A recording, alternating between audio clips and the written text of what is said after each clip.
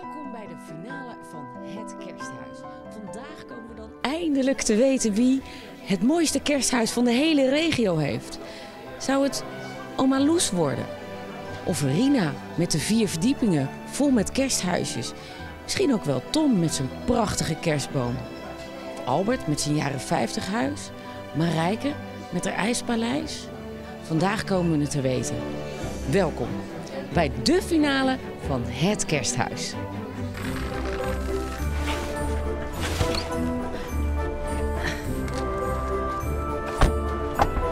Zullen we gaan? En voor de finale is Jet vandaag de gast bij verpleeghuis Leiterode in Leidendorp.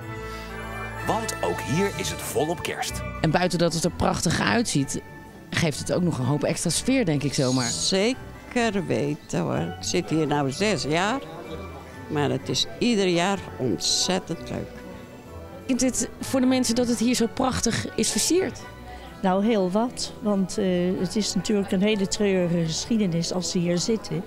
En voor de mensen wel heel erg eh, gezellig gemaakt wordt. Dat vind ik heel mooi. Wat vindt u het mooiste? Heel mooi, oude kerstboom en de kerststal. Kerststal vind ik het mooiste. En dit alles is te danken aan deze twee kerstmannen. Hoe hebben jullie dat gedaan? Met een team van acht mensen eh, gaan we beginnen en we zijn twee dagen bezig om alles neer te zetten. En hoe kom je aan zoveel kerstspullen? Iedere keer wat verzamelen, krijg je iedere keer een klein budget. En eh, zo krijg je alles bij elkaar. Oké, terug naar de finale. De afgelopen weken heeft Jet 13 kersthuizen bezocht. Maar voordat de winnaar bekend wordt gemaakt, blikken we nog even terug. Iedereen waar we te gast waren, kregen we een souvenir mee. Daar zijn we dolblij mee, daar gaan we iets moois mee doen. En hier begon het allemaal mee. Dit kregen wij van oma Loes, de allereerste kandidaat van het kersthuis. En dat was een goed begin, van begin tot het eind, feest. Dag oma Loes. Hallo. Oh, wat ziet hij er goed uit. Oh, oh, het is al meteen kerst. Kom Lies, kom. Kom erin. Oh, hè, wat mooi. Vind je het echt Ja, ik vind het prachtig.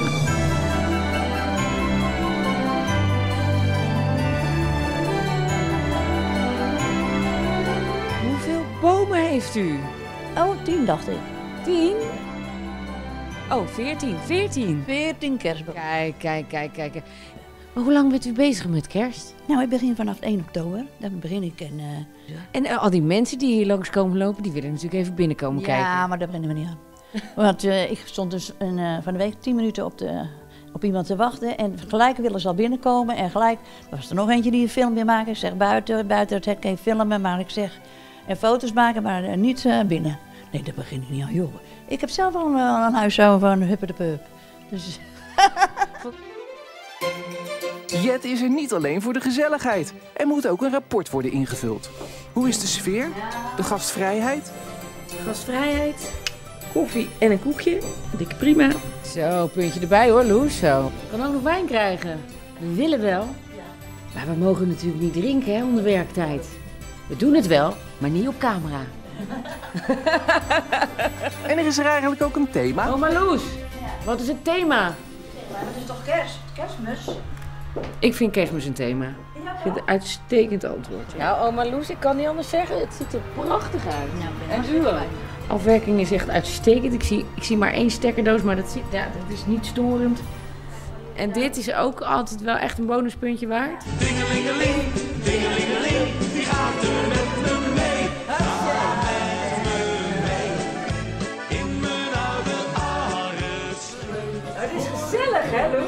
Hartstikke leuk. Best Kan makkelijk. Het rapport is ingevuld. Maar aan elke kersthuisdeelnemer wordt nog een klein souvenirtje gevraagd. Als herinnering. Ja, vind je dat leuk? Oh ja, dat vind ik heel leuk. Die zak met ballen dan ook even. Een zak met ba- Ah, Loes. Ah. Kusje.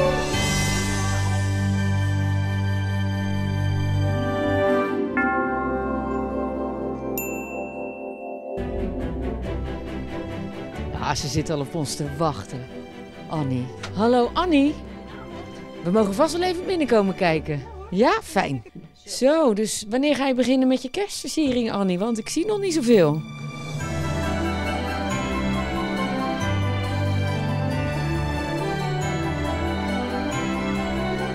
de uurtjes zijn niet te tellen, maar ik ging iedere keer even zitten en wat eten. En dan ging ik weer even verder.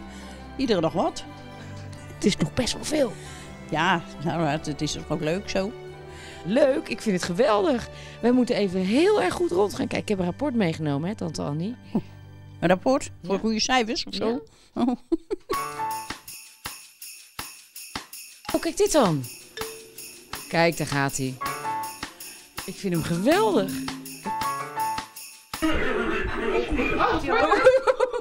Ze hem dood.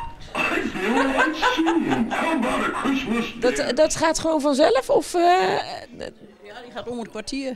Gaat die vanzelf. Oh, dus je weet heel de dag hoe laat het is? Ja. Annie is weduwe en haar man hield ook erg van kerst. 64 jaar geleden gaf hij haar deze kerstbel en hij hangt er nog steeds. En hij blijft het nog steeds doen. Kijk, toen werd er nog geen rommel gemaakt, hè? Nee, nee. Na de dood van haar man versierde ze samen het huis met haar moeder. Maar afgelopen zomer is hij op 104-jarige leeftijd overleden. En je dacht, ik ga toch kerst vieren. Ja, ze wou het altijd doen. We hebben het altijd, ze is erbij geweest. En ik denk, eerst zou ik het niet doen. Dan denk ik bij mij, nou, ik ga het toch maar wel doen. Want als het gaat over het leven is een feest, maar je moet zelf de slingers ophangen, dan ben jij daar volgens mij wel echt de koningin van eh, geworden. Ja. Ja, het is nou eenmaal zo. Ik doe dat nou eenmaal allemaal graag. Dus eh, ja. Elk jaar koopt Annie weer nieuwe spullen erbij. Ze kan het gewoon niet laten. Het is gewoon een kick, hè? net als de voetballers hebben. En een kick, het- Oh, ik krijg een kick van kerstmis. Ja, ja maar ja, dat, dat is gewoon zo. Het is tijd om het rapport in te vullen. Nou, de entree mag ik wel gewoon spectaculair noemen. Annie, wat is je thema? Gezelligheid. Gezelligheid. En gezellig onder elkaar. Moet je wel gezellig hebben kijken, Annie? Ja. En met die gastvrijheid zit het wel snor. Jet, Ja? wil je een stukje taart? Nou, dat vinden wij heel lekker. Taart is zeker een bonuspuntje. Er zit ook fruit op, hè? Ja hoor, maak dat jezelf maar wijs. Jet krijgt van Annie ook nog een leuk sneeuwpopje mee. Als aandenken aan haar kersthuis.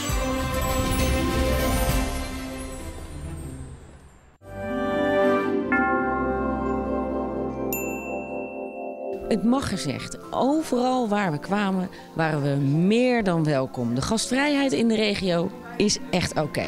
En sommige mensen, die zal je gewoon niet zo snel meer vergeten. Zoals Wilbrand, die vond het zo leuk dat we kwamen. En zo'n trotse bewoner van Gouda, die zie je maar zelden. Kijk maar even mee. Dag meneer Wilbrand, daar zijn we dan. Wat een prachtig huis heeft u. Ja, Het is wel iets om trots op te zijn, denk ik. Maar ook om maar mooie kerstspullen.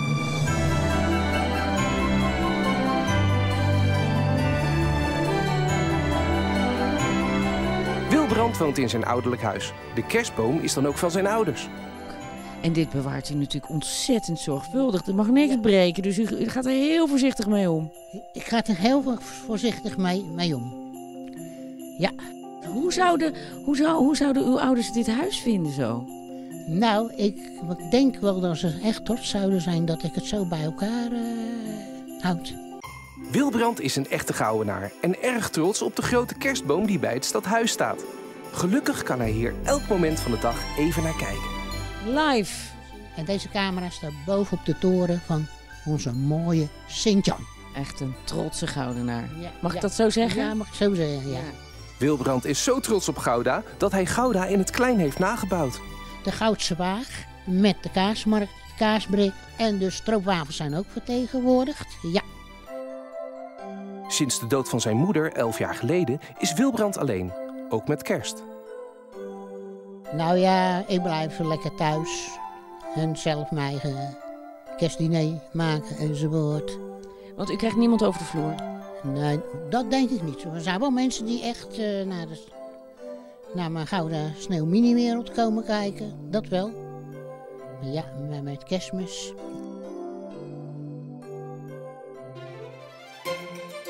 Ja, er is ook nog een rapport in te vullen. Jet begint bij de entree.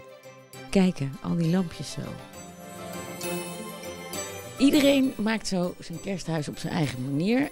Maar Wilbrand, die heeft er wel echt een hele bijzondere touch aan gegeven. Want die doet het allemaal heel subtiel, maar het is wel overal. Ondertussen is Wilbrand druk in de weer met de koffie... die speciaal voor Jet wordt geschonken in het servies van zijn ouders. Maar dit servies gebruikt u dus eigenlijk nooit? Wel dus vroeger. Mijn, met mijn ouders werd wel vroeger gebruikt, laat ik zo zeggen, met kerst. En als TV West komt? Ja, TV West. Nou, ik voel me vereerd. En dan heeft Wilbrand nog een gouds cadeautje voor Jet. De stroopwafels. Ja, dit is natuurlijk echt... Dit is heel erg lief. En een Gouda Kaarsenstad, hè? Gouda Kaarsenstad. Het was mooi, waar genoeg. Ik vind het ook heel leuk. Dag Wilbrand, dankjewel dat we te gast mochten zijn in je prachtige huis. Doeg!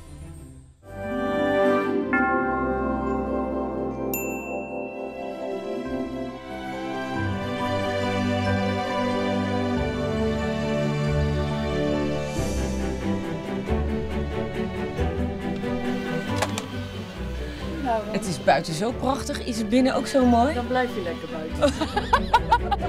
De gastvrijheid gaan we ook testen. Hè? Kijk uit, kijk uit. Anders maak ik meteen een aantekening in mijn rapport. Hoi, ik ben Jet. Gebeurt niet vaak, maar ik ben er even stil van. Rakeloos, ik zie het, ja.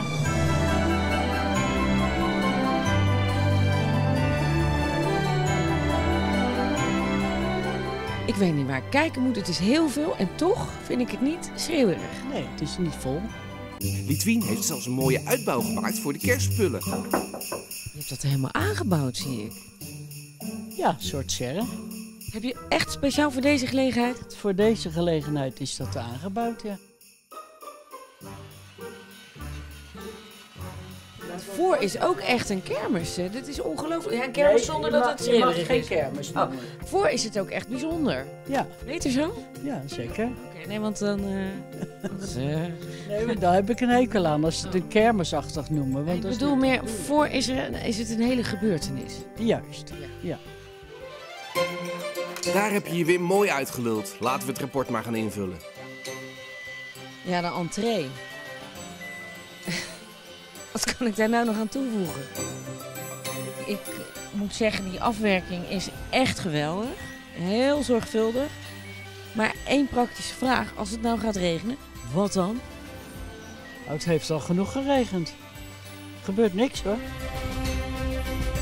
Speciale serre aangebouwd om dit tafereel te kunnen maken. Nou, Annelies, ik weet niet hoe jij daarover denkt, maar dit vind ik niet één bonuspunt, maar misschien wel twee.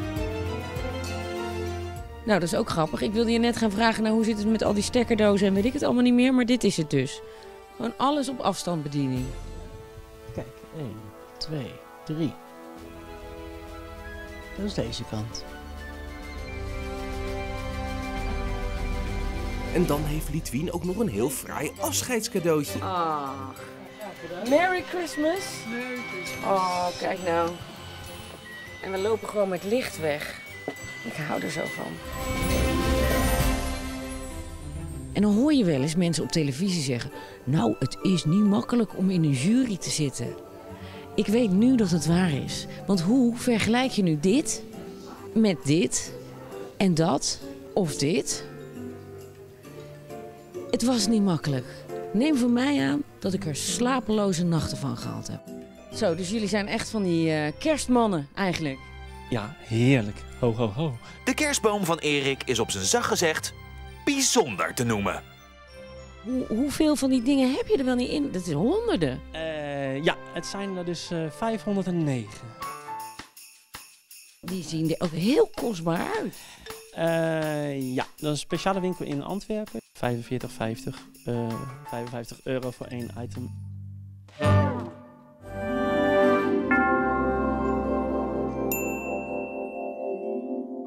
Het kersthuis van Tony en Nol staat propvol. Oftewel, je kan je kont er niet keren. Ja, alles staat hier wat, hè? Oh, heerlijk. Tony en Nol hebben twee hobby's: elfjes en indianen. Maar de indianen van Nol moesten aan de kant voor de kerstspullen. Maar dus jouw indianen moeten nu plaatsmaken voor de blanke kerstsfeer. Nou ja, goed, dat maakt Ik vind het ernstig. Ik eh, moet er toch een aantekening van maken. Maar Tony heeft er minder moeite mee. Ja, moet er ook wel. Dan staat toch niets. Kerstspullen en dan die indianen erbij. Nee, dat vind ik niet mooi.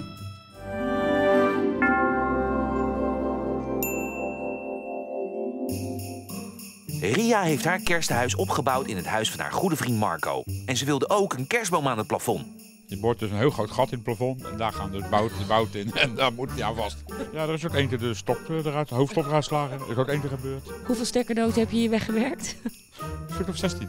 Normaal laat ik het tot 6 januari staan, maar volgens de Poolse buur mag ik het tot half februari, februari laten staan. Dus ik laat het denk ik tot half februari staan.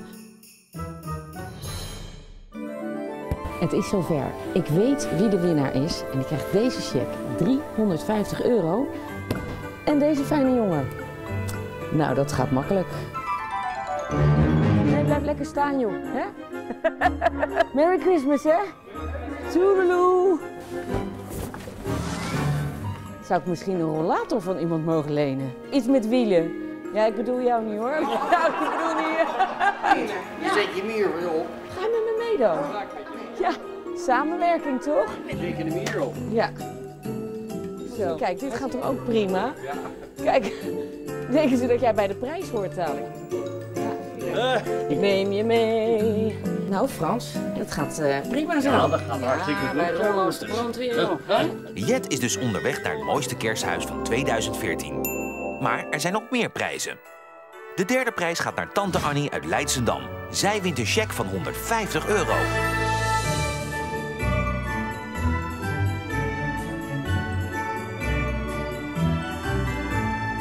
En de tweede prijs gaat naar het kersthuis van Lidwien uit Zoeterwoude. Gefeliciteerd! Er komt een cheque van 250 euro naar je toe.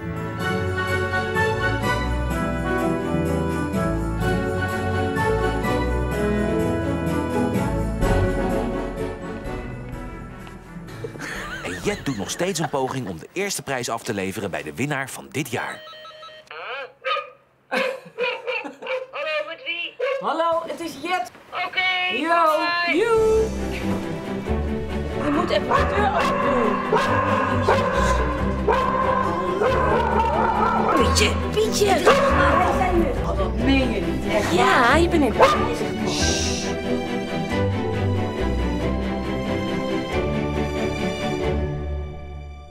En wij zijn verheugd jou te mogen melden dat jij de winnaar bent van het Kersthuis 2014. Oh, super! Leuk, super, dankjewel. Meid. En we hebben een fles om het te vieren, een cheque van 350 euro. Wat fijn. Oh, helemaal top. Ja, Piet is prachtig, hè? Zo. Even kijken. Ja, ja. Een beetje blauw maken. En de goede kleur. Stenen halen, zwarte stenen, blauwe stenen. Want hier komt volgend jaar een heel uh. Oh, nou, we hebben het begin voor je alvast Hey. meegenomen. Toppie! Yes! Iedereen bij deze de beste wensen en tot volgend jaar. Ja, want volgend jaar willen we zeker nog even bij je komen kijken. Ja, is het. Dit was leuk, vond ik. Maar volgend jaar wordt het helemaal extra. Nou, vind ik een mooie afsluiter. Dit was het Kersthuis 2014. Op naar 2015. Merry Christmas. Blue Christmas. Merry Blue Christmas. Merry Blue Christmas. Ja, Met Bocelli. zo is dat. Merry Bootje. Proost. Kijk, Piet, onverwacht hè, zo. Het kersthuis van Marijke uit Den Haag is het mooiste van 2014. Omroep West wil graag alle kandidaten die mee hebben gedaan aan het mooiste kersthuis bedanken voor hun gastvrijheid, hun gezelligheid, de koffie en de gebakjes. Wij wensen iedereen dan ook fijne feestdagen en een heel gelukkig nieuwjaar.